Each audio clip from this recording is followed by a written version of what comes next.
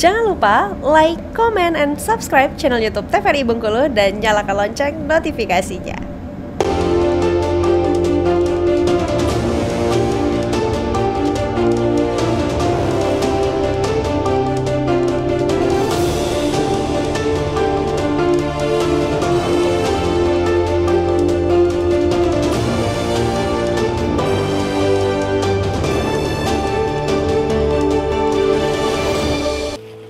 Pemirsa, Anda kembali menyaksikan Brando TVRI Bengkulu edisi hari ini dengan tema Tren Reptil sebagai Hewan Peliharaan. Dan tentunya kita masih bersama dengan kedua narasumber kita, ada Bang Agung selaku Ketua Komunitas Bengkulen Reptil, dan juga Bang Rizky selaku ahli re, uh, rescue hewan liar. Nah, tadi kita lanjutkan Bang sedikit pembahasan di segmen sebelumnya tadi nih Bang. Ya, bang. bang kan punya rencana nih untuk memelihara hewan yang uh, ular yang berbisa juga nih Bang. Tadi kan Abang punya lima ular, sekarang semuanya tidak berbisa kan bang? Tidak bang. Nah ini kalau abang sudah berencana untuk memelihara hewan yang berbisa ini kan ada sesuatu yang disiapkan nih bang. Kira-kira apa aja yang abang siapkan? Seperti tempatnya dulu, box. Tempatnya berarti beda bang dengan yang seperti piton atau hewan ular-ular yang tidak Sama berbisa? Sih bang. Hmm. Tapi lebih cari yang lebih rapat lagi tempatnya itu. Tempat kuncinya itu. Oke, untuk menghindari supaya dia nggak ke mana-mana ya bang ya? Iya bang. Tiba lepasin bahaya ya bang ya? Terus apa lagi bang? Yang kedua itulah tadi apa namanya hooknya apa tongkat okay. untuk mengambil ularnya langsung. Berarti tangan nggak mungkin. Oh berarti ini beda ya bang ya? Beda bang. Mm -hmm. Karena kalau ular berbisa untuk menghindari resiko tadi dia nggak dipegang secara langsung berarti bang. Oh berarti nggak kayak yang di video-video nih ya bang ya yang langsung tangkap berarti enggak berarti ya bang ya? Gimana kalau bang Rizky? Ya lebih jaga antisipasi aja bang. Oke. Okay. Berarti keseruan dalam memelihara ular ataupun hewan-hewan reptil ini bukan untuk dipegang-pegang atau kalau abang gimana bang? Ya, sebagian ada yang untuk dipegang, untuk mainin, sebagian untuk kita piarain aja ngeliatin dia unik kita di tuh cantik warnanya itu. Berarti keseruan melihara hewan berbisa itu di mana berarti bang? Kalau kita nggak pegang terus juga dia nanti matok kita dan lain sebagainya. Berarti keseruan memeliharanya di mana bang? Kalau bang Rizky melihatnya lebih ke keunikan bentuknya sih bang. Oke, walaupun nggak bisa kita pegang nih bang. Ya, itu kan dari ini bang, uh, mungkin dari tempat yang okay. kita siapkan bang, hmm. box yang kita siapkan itu dikasih kayak tanaman, kayak ini kan bang, di alam gitu bang. Oke. Okay. Jadi dia taruh di dalam situ, nangkring situ. Hmm. Kalau untuk keunikan, kalau tertarik uh, meliharanya itu ya salah satunya unik bang. Uniknya tuh dia tuh badannya tuh nggak panjang seperti ular lain. Jadi dia tuh agak apa uh, badannya tuh agak pendek. Pendek-pendek mematikan tapi ya bang ya? Oh, makan makannya semua sekali seminggu eh, sekali sebulan kalau untuk yang viper okay. tapi lebih besar ininya bang. Apa banyak dari makanan porsinya porsi bang? enggak bang. Enggak, enggak juga? Enggak juga.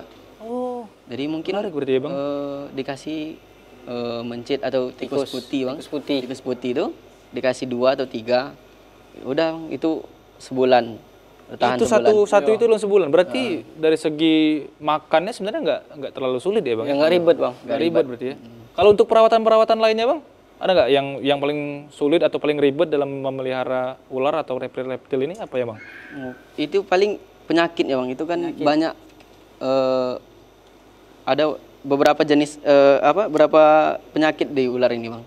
Oh. Salah satunya seriawan. Jadi oh, di di sininya tuh kayak ada putih-putih di sini ya bang. Jamur kayak jamur. Uh, kayak di kayak seriawan putih-putih. Itu dikasih sirup enggak kan bang? Enggak. itu gimana bang kalau sampai ada yang kena penyakit tuh bang? Uh, itu biasanya di apa dibersihkan dulu bang, dibersihkan. Habis itu dijemur. Kadang dikasih obat, obat. Ini. Obat khusus memang ular atau gimana bang? Kalau sebenarnya itu air siri sih bang. Kalau siri rendaman air siri. Uh, rendam dengan air siri itu membunuh bakteri bang. Oke, ilmu-ilmu seperti ini yang di, banyak dibahas di Bengkulan Reptil berarti bang. Artinya ya, seperti bang. itu. Banyak kawan-kawan yang sebelumnya tidak tahu jadi lebih tahu atau seperti apa bang? Karena bergabung di Bengkulan Reptil bang. Banyak. Karena, yang... karena kan informasi-informasi seperti tadi kan sangat uh, minim sekali didapati oleh masyarakat umum kan bang. Uh. Jadi kami di situ juga sama-sama belajar bang, sharing-sharing, berbagi ilmu. Uh, ular itu kena penyakit ini, jadi kami tanya di dalam forum, forum diskusi. di forum grup di grup jadi oh ini ularnya kenapa jadi kalau yang pertama tadi kan itu bang ada sariawannya Iya. habis itu ada juga yang flu Flu juga ya bang? Flu, Bang. Ini sudah kayak merawat anak sendiri berarti bang ya? itu ju- juga dijemur bang dijemur kadang kalau jenis-jenis yang sulit itu biasanya yang putih-putih kayak gini bang tapi untuk paitannya ular-ular paitan gini biasanya ada penyakitnya sembelit Nggak bisa BAB berarti. Ah, Iya iya iya iya. iya. Berarti sebenarnya hampir sama seperti manusia ya bang? Iya, ya? Bang. Hampir sama seperti manusia. Oke. Oke. Kemudian untuk eh, ini kan hewannya kan sama seperti manusia, sama seperti makhluk hidup lainnya kan bang. Dia juga punya pasangan dan lain sebagainya. Ini gimana kalau ular sendiri bang? itu Musim kawinnya segala macam bang? itu juga punya ini sih bang punya pasangan kalau musim kawin itu biasanya di bulan Desember Yo Desember. Desember Oh, berarti dalam satu tahun ada musimnya sendiri ya, Bang? Bang, Desember. Nah, itu gimana tuh, Bang? Kita cari pasangannya atau memang dari awal sudah dipelihara secara berpasangan atau seperti apa, Bang? itu sar eh, ular itu kawin biasanya badannya itu udah lebih besar bang yang betinanya itu Lebih besar yang betinanya. biasanya umur umur tujuh tahun atau enam tahunan Oke.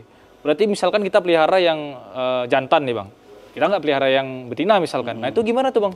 Kalau dia udah masuk musim kawin tuh. itu biasanya kan kawan-kawan yang lain ada bang yang melihara ular-ular yang betina Oke. Menjodohkan. saling Iya, iya, iya, iya. Saling dicomblangin ya, Bang. Ya bang. terus terus nanti dia bertelur dan kemudian siklusnya seperti eh, kemudian dia menetas dan lain sebagainya. Iya, Bang. Berarti seperti itu, Bang. Mm. jadi dikawinin habis itu Oke. nunggu betelur udah betelur ditetaskan kadang di ini dikasih ke anak-anak reptil ya Ya. Oh, gitu juga berarti. Ada Bang. ya. Jadi kalau piton piton jenis ini, Bang, sekali bertelur berapa banyak dia, Bang?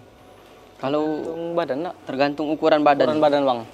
Oh, Kalau ini belum belum saatnya kawin ya, Bang? Kalau yang belum bang belum ini masih kecil Oh, Masih- ini umur berapa, Bang, kalau yang ini, Bang? umur Tiga tahun. tiga tahun tiga tahunan Tiga tahun ini hitungannya masih kecil ya, Bang ya? iya Dia apa musim kawinnya masuk ketika umur umur berapa tuh, Bang? sebenarnya kalau umur satu oh, dia eh, panjangnya semeter setengah udah bisa sih bang tapi pas dia itu mau kawinnya itu nggak tahu bang kapan jadi kalau eh, itu lebih ke sifatnya bang lebih ke Ya, karakternya karakternya. Nah, gimana tuh Bang karakternya kalau dia oh ini ini mau kawin nih, ini nggak kawin nih. Kalau dari si ular ini kalau dia udah mau kawin lebih ke apa? Lebih lebih ke nggak mau disentuh badan dia bang. jadi Banting dia itu. kandang itu di, di Gelisah gitu ya, Bang. Ah, Gelisah. gelisah. Ya, sama kayak manusia juga berarti ya, Bang ya. itu nyundul kandangnya itu di senggol-senggol gitu bang Terus bang. oh, berarti kita juga membaca insting dari ular ini bahwa oh, dia ini udah mau kawin nih. Segala macam. Akhirnya kita cari gitu ya, Bang ya. Ya bang. Ini kalau teman-teman yang memelihara tapi tidak ada di komunitas, Bang kesulitan nggak, Bang, mencari pasangan ketika ularnya sudah mau masuk musim kawin? Hmm, Atau gimana, Bang? Kalau itu untuk enggak juga sih bang kalau untuk cari pasangan kan biasanya kalau di forum itu kawan-kawan rame bang. Nanti di apa dihubungi kawan-kawan yang ada di itu dalam komunitas itu. Oh, ular saya lagi ini oh, mungkin butuh pasangan gitu gitu bang.